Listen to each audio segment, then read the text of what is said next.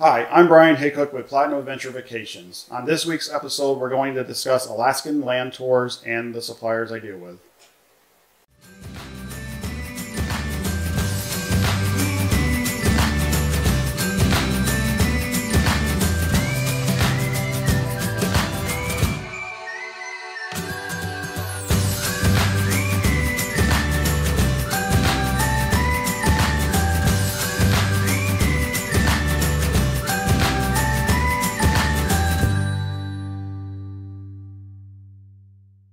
So, on last week's episode, if you remember, we talked about Alaska in general. We talked about the different seasons peak season, cruise season, and the shoulder seasons, as well as we spoke about the, each month and what each month had to offer as far as traveling to Alaska and the best times to see certain things in Alaska. And so this week, like I said, we're going to talk about land tours and the suppliers I deal with. And basically, I'm going to discuss only the the main tour, land or main suppliers I deal with. There's many of them out there. However, these are going to be the ones I mainly deal with and what they have to offer. The first one I'm going to discuss is called Globus Family. So Globus has been around for a very long time.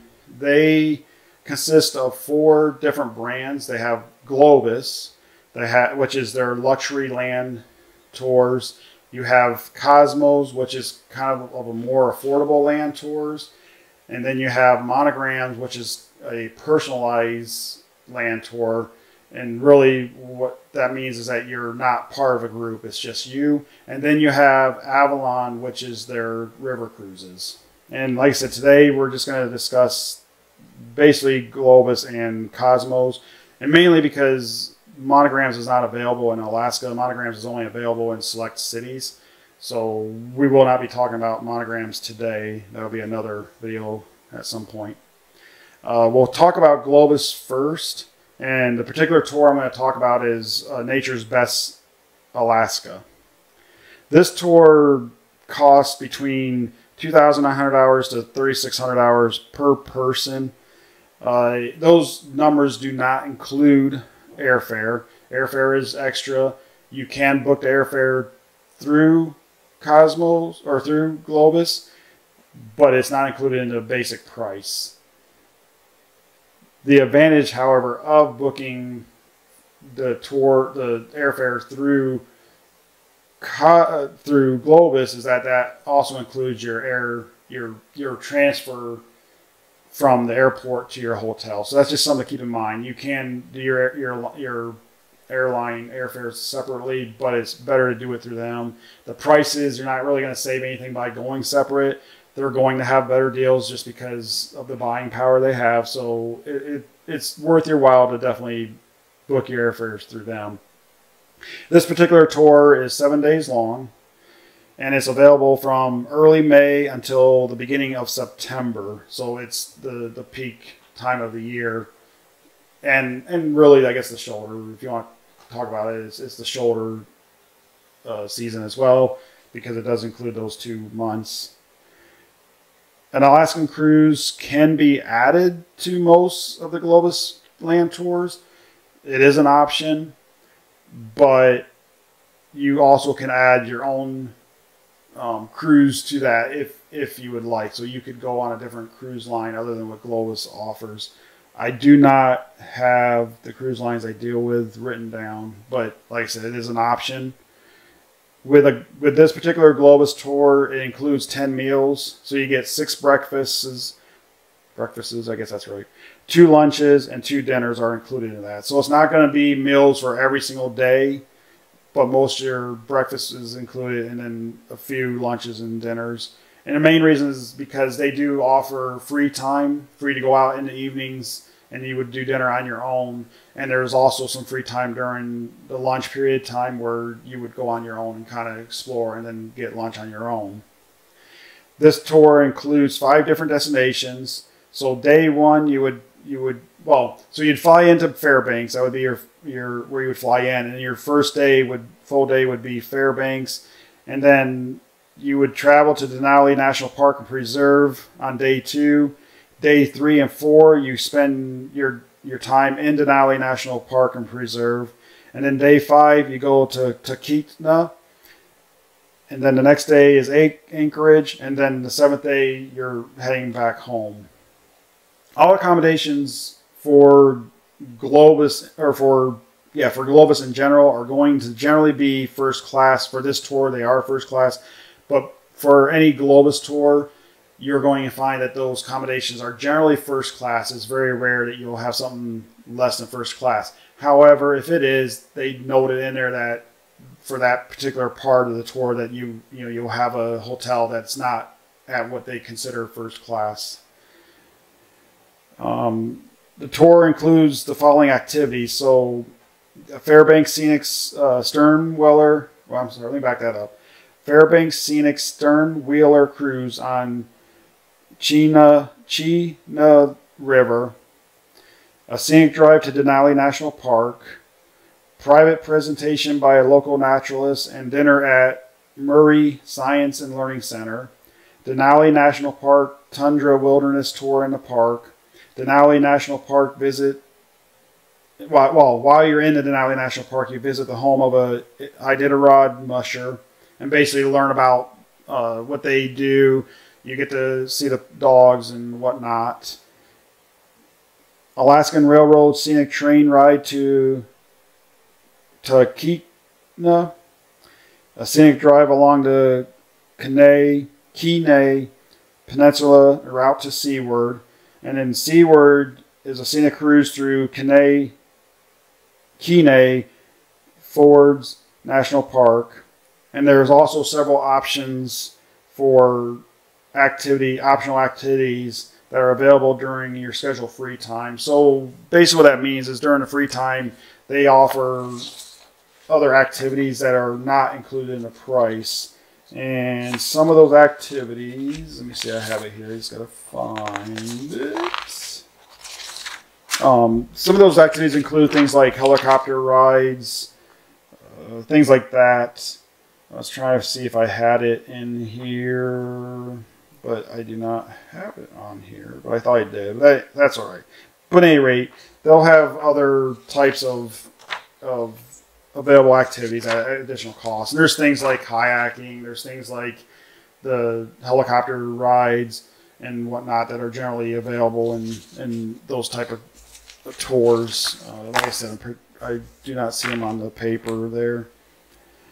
The next tour or supplier, which is part of the Globus family, is going to be Cosmos. And like I said before, Cosmo is is a more affordable land tour.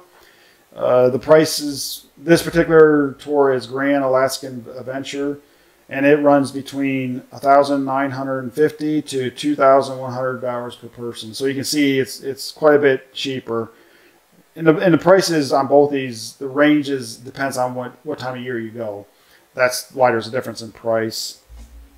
Again, it does not include airfare. If you want airfare, you can get airfare through Cosmos just like you can with Globus.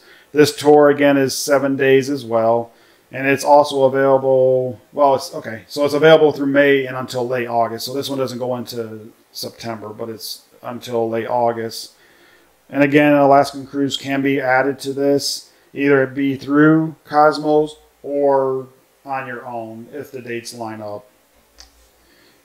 This particular this particular tour does not include any meals. So as you can see, again, this is I, I think I said this before. You kind of there's a price savings there because you're you're not paying for your meals up front. So obviously it's going to be a little bit cheaper. Uh, the tour includes four different destinations, so it's one destination shorter than than the other one. And so you'll start this one. You'll start in Anchorage and you end in Anchorage. So the first day you're in Anchorage, and then the second day you're going to travel to Talkeetna, and then Denali National Park Reserve. So kind of combined. Talkeetna is is close to Denali National Forest and Preserve or National Park and Preserve. So that's kind of why it's together. And then the third day you'll spend in national in the national park and preserve. And then the fourth day you'll travel to Thompson Pass and Valdez. And then the fifth day, you'll travel to Anchorage, and then you'll spend day six in Anchorage, and then you'll fly home or head home on your seventh day.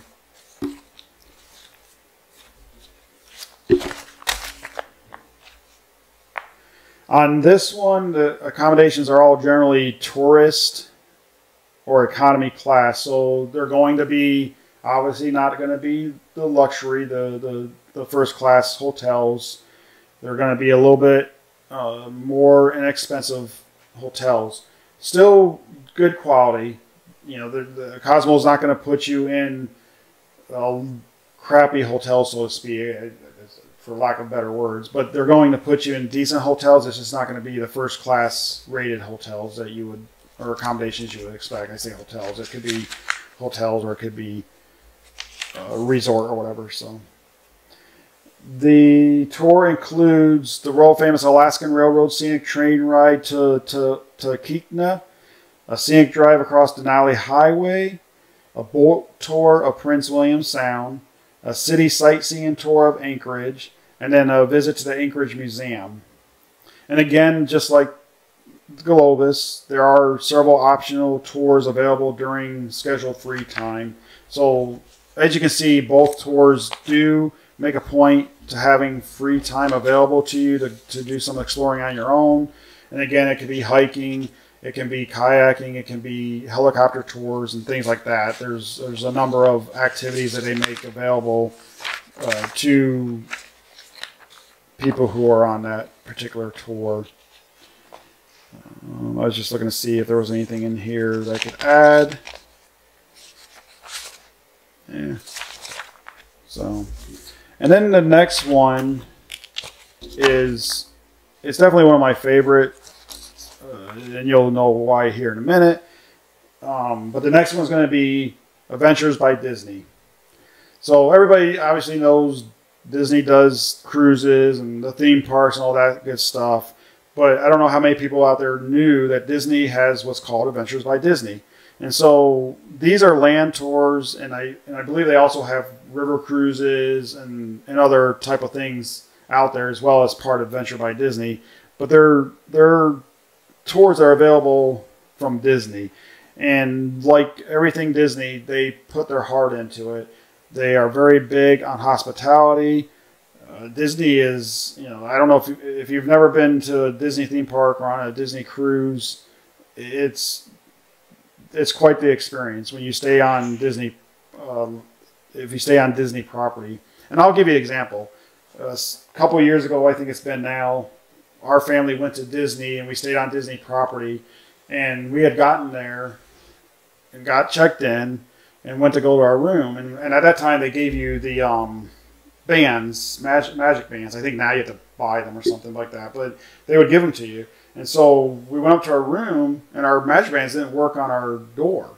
And to me, you know, it wasn't a big deal. It was, you know, I called them up. I said, "Hey, it's, you know, our, we're trying to get our room. The magic bands aren't working you know, and da da da. And they're like, yeah, no problem. We're going to send somebody up there and see if we can figure out what's going on. So they did. They sent a, a lady up there, and it, and it took, I don't know, maybe five to ten minutes it took this lady to get up there. And she got up there, and unfortunately, she wasn't able to get it open. So they apologized and, you know, and whatnot about it. And and the next thing you know, I get a call from a representative from Disney, and, and, and it was very like, hey, we understand you guys are having an issue with your room and because of the inconvenience, we're going to give you a fifty dollar credit and and want to make sure you guys are happy, and and that's it. And like I said, it you know, fifteen minutes, whatever, it was no big deal, and so it it changed my well, I shouldn't say it changed my point of view of Disney. I always knew Disney was a very good place. It just made me think, wow, the Disney really truly wants you to have a good time, and they want you to be happy. So, any rate, so that's my story, Disney story, and we'll get back to what we are really talking about, and that's the Adventure by Disney. So, Adventure by Disney only has one Alaskan tour, and that's something I didn't mention. Globus and Cosmo both have several tours that are available through them for Alaska. That was just one of one tour from each brand. Disney only has one tour available for Alaska, so they don't have multiple tours, obviously. Now, this is where things you're going to see a difference. The tour price for Adventures by Disney, their Alaskan tour, is priced between $5,950 to $6,250 per person. So, as you can see, it's very expensive compared to Globus, but you, you get what you pay for as far as the Disney thing. You you you are going to get probably the best tour you could possibly have, hands down. So, any rate, so that price again does not include airfare. You can do airfares with them, but the the price is not included in that, or the price does not include airfares. This particular tour is eight days long, and it's available from May, late May until mid August. And you can add a Disney Alaskan cruise to that tour. This tour includes 16 meals, so you get seven breakfasts, four lunches, and five dinners. So you get quite a bit more meals with this. This one includes 14 sites, so you go to 14 different places. So uh, the or sites. Let me back that up. It includes 14 visits to 14 sites, but it's four different destinations. So let me back that up. I, I needed to make sure I corrected that. The tour includes separate activities for adults and kids, and there are adult only tours available as well for this particular tour. So if you're looking to go and you don't want your, you know, say you're just a, a couple don't, you know, you don't want to go and have to deal with kids or whatever, they do have adult only, but the ones that do include kids have activities separate from the adults as well available for kids. So if you do are a family that are going on a tour, there are activities for your kids to do um, on their own. The first day of this tour, you fly into Anchorage. The second day, you're in Anchorage, and then you travel to to Talkeetna, and then from day three, you're in Talkeetna and Denali National Park. And then day four, you spend at national, the Denali National Park. Day five, you travel to Girdwood. Day six, you're in Girdwood. Day seven, you're in Girdwood. And then day eight, you return home. And as expected with Disney, all accommodations are first class. They're, that's the only option. So it's all first class accommodations with Disney. Activity wise, I'm going to go down the list. There's a there's a bunch, but um, I'm going to go down the list and, and read them off. But the, uh, the, the activities include a welcome reception. So when you get there, you're going to uh, have a welcome reception that includes dinner. Um, just a second, let me find my sheet here so I can give you more information. So, but it, basically, the welcome dinner is to celebrate your first night in Alaska and to you know dinner and whatnot. They'll, they'll go over different things of the tour at that point. You have Alaska Native Heritage Center. You visit that. There's separate village tours for adults and kids. So adults will do a, a, tour and the kids will do a tour. And they have tour guides that are, you know, that deal with kids and, you know, of course, tour guides that deal with adults. But you there's two separate tours. There's a bike riding and kayak at Elkutna Lake. Hopefully I'm saying that way right. And then there's a coach ride to, to Talkeetna. And then you have an Alaskan Railroad dome ride to Denali National Park and Preserve. And that means you're riding in a, in a train cart that has a dome roof. Uh, let's see, here we at.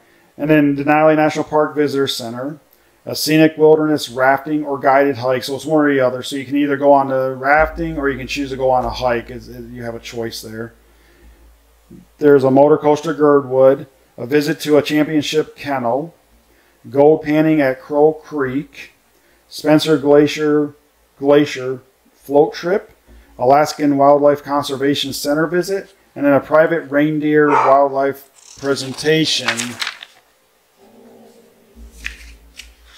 And then, and like the other tours, there are several optional tours available during scheduled free time.